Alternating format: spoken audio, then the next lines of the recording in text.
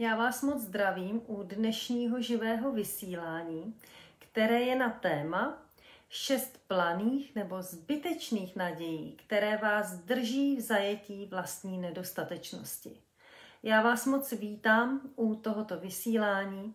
Počkám jako pokaždé, až se připojíte, až od vás dostanu zpětnou vazbu, že naše spojení funguje, hlavně, že mě dobře slyšíte a hned poté bych začala s tímto tématem, které mi přijde důležité v kontextu eh, těch předchozích vysílání a které všechny směřují k tomu, abyste v životě našli rovnováhu, abyste se cítili fajn a abyste na té cestě, která vede k naplnění vašich snů a cílů, dorazili do cíle v pořádku.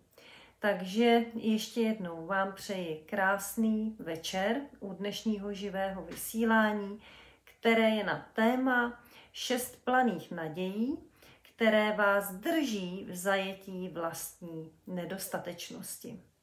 Já bych hned na úvod chtěla říct, že jde eh, o věci, s kterými se potýká valná většina lidí, také ti, kteří mi píší, tak většinou bojují alespoň s jedním z těchto bodů, o kterých bych ráda hovořila.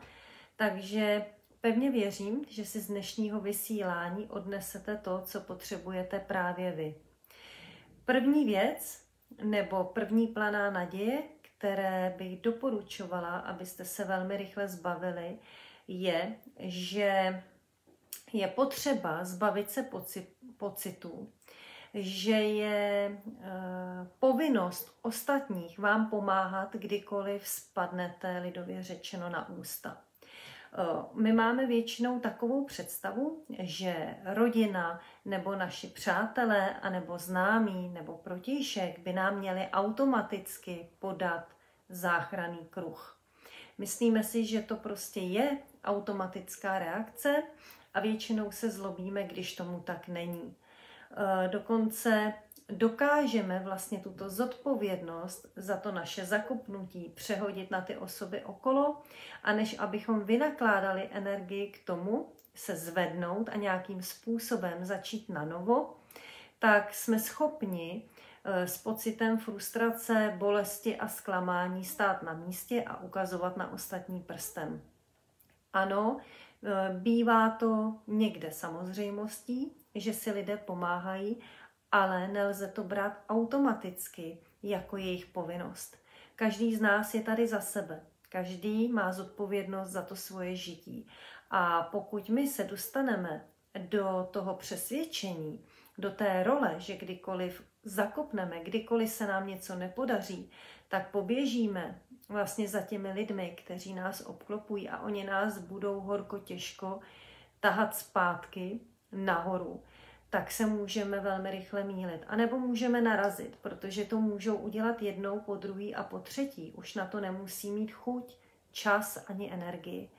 Takže nevyžadujte od lidí automaticky, aby vám pomáhali a hlavně to automaticky neočekávejte, protože vám to může přinést zklamání, které ale jakoby s reálným vztahem těchto lidí k vám opravdu nemusí mít co dělat.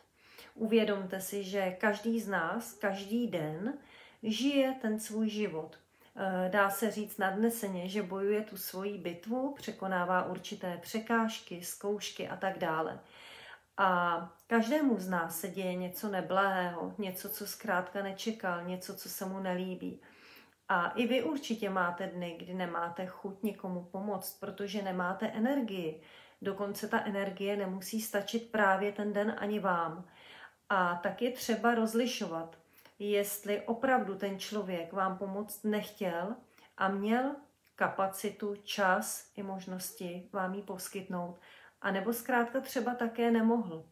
A rozhodl se v zájmu nějaké vlastní sebezáchovy se postarat o ten svůj karambol, který právě žije. Takže to je taková první věc, eh, že my většinou nebo velmi často žijeme v plané naději, že kdykoliv se něco stane a my spadneme na ta ústa, že nás někdo bude tahat nahoru. Eh, nepočítejte s tím a pak budete moct být mile překvapeni, pokud někdo na to ten potenciál a chuť mít bude. Eh, bod dvě je že č- velmi často žijeme v takové liché představě, představě že všichni lidé kolem nás se budou chovat k nám, tak jako my se chováme k ním. Z této představy bych vás velmi rychle chtěla vyvést, protože to chování vždycky vypovídá o dané osobě. To znamená to, že vy někomu třeba desetkrát pomůžete, to, že vy ho desetkrát podpoříte, opravdu neznamená a nelze očekávat, že on to udělá pro vás.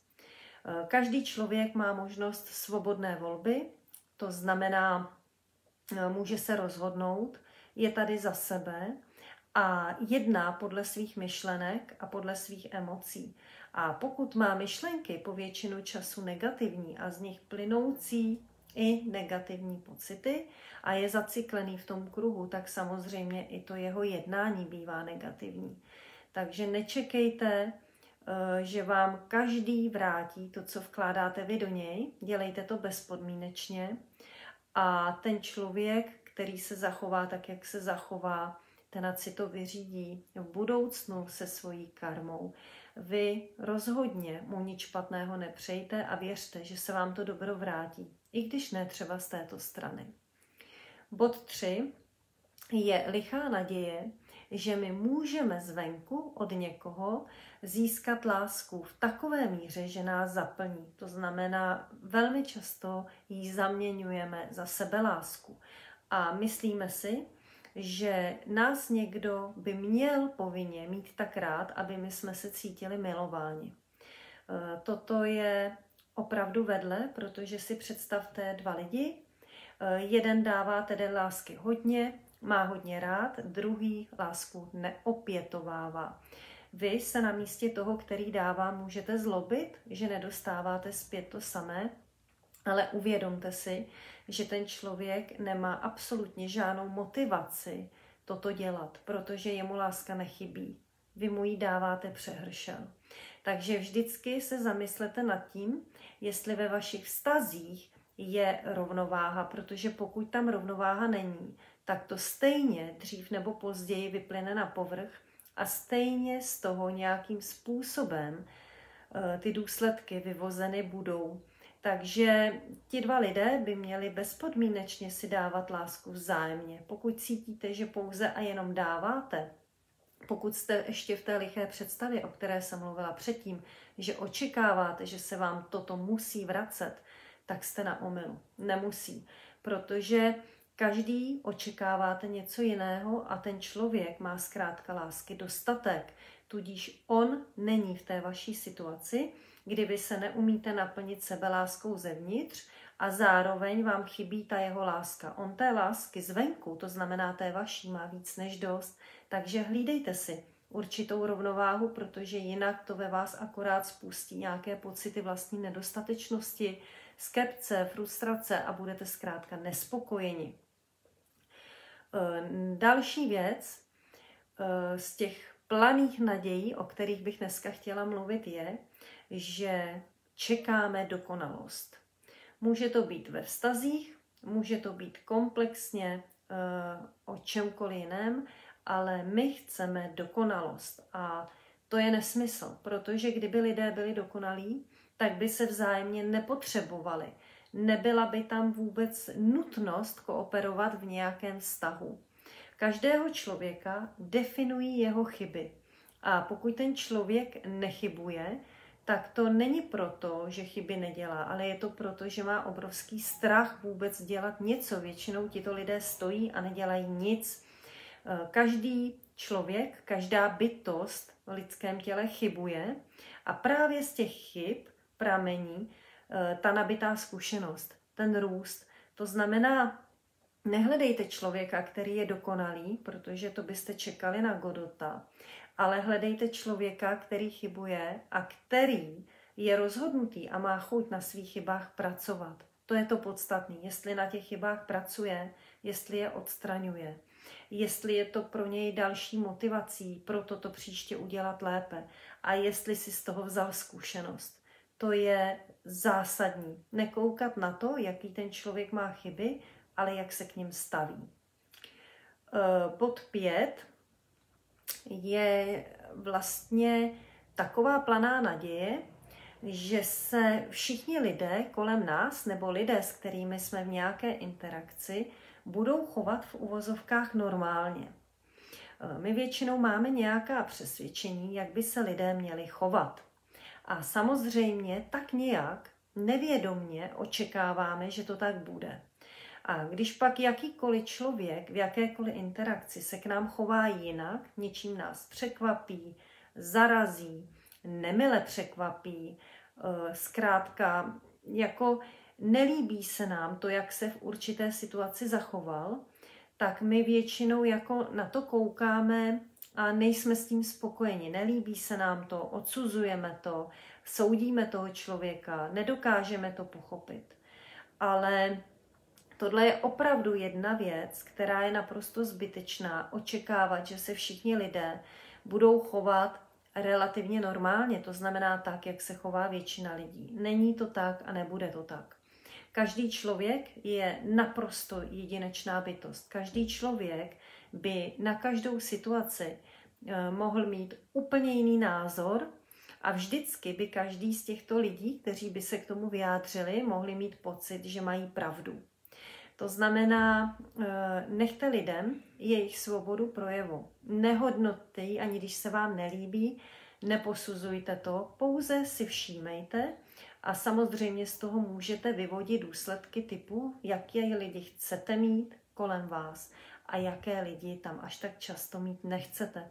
Ale rozhodně se nesnažte uh, žít v představě, že ti lidé zareagují tak, jak vy si představujete. Uh, bod 6 je taková ta planá naděje a míváme ji občas všichni, nebo jsme ji možná měli všichni, že někoho změníte. Žádného člověka na světě nemáte potenciál změnit. Eh, máte potenciál ho motivovat. Můžete někoho namotivovat tím způsobem, že ten člověk se potom sám rozhodne, že něco změní a díky třeba vaší energii nebo díky tomu, jak ho podporujete, po té cestě půjde snadněji. Ale rozhodně nemůžete udělat tuto práci za něj. Pokud si myslíte, že zkrátka změníte svého partnera, svoji partnerku, svoji maminku, svoji sestru, nezměníte. Vy jediné, co můžete, tak je můžete přijmout a můžete zavádět třeba, pokud s nimi máte dobré vztahy, do témat otázky, takové návodné otázky, které tyto lidi třeba dovedou k tomu, že vlastně uvidí ten svůj problém lépe, uvidí ho z jiného e, zorného úhlu a sami se na základě tohoto rozhodnou, že v jejich životě není všechno v pořádku a něco změnit chtějí. Ale zbavte se iluze, že máte šanci někoho změnit nemáte. I kdybyste ho změnili dočasně, jakože ten člověk by se vám podvolil, stejně tato změna nebude trvalá, nebude dlouhodobá, pokud se k ní nerozhodne on. To je naprosto zásadní. Pamatuj se, pamatujte si eh, jedno uvědomění, eh, že svou hodnotu v žádném případě nikdy nezvýšíte a nenavýšete, nenavýšíte tím, že se budete jakkoliv před lidmi ponižovat. Pokud vy se nedokážete docenit v první řadě, tak nemá šanci vás docenit nikdo. Všechno, co se děje kolem vás, všechno, co prožíváte ve vašem životě, je odpověď na to, co máte v mysli, co cítíte a jak s tímto nakládáte. To znamená, pokud chcete ve svém životě to, co vidíte venku kolem vás, něco změnit, tak první věc, kterou uh, musíte změnit, je vaše myšlení. Je váš přístup k vašemu myšlení, k vašim emocím a k tomu, jak to všechno dohromady funguje. Takže to je takových šest planých nadějí, které často očekáváme a když nepřicházejí, tak se cítíme mnohem hůř. Takže rovnou se zbavte těchto iluzorních pocitů a vydejte se po té cestě, která k vede, osobnímu, vede k osobnímu růstu, eh, sami se zodpovědností za svoje žití a přestaňte jakoby koukat kolem sebe, kdo vás zachrání, protože jediná osoba, která vás může, ať už jste teď v jakékoliv situaci, zachránit a která vám může opravdu pomoct, je ta, která na vás kouká ze zrcadla. Takže já děkuji, že jste přišli na dnešní vysílání. Přeju vám krásný zbytek dne a budu ráda, když se uvidíme zase zítra. Mějte se krásně.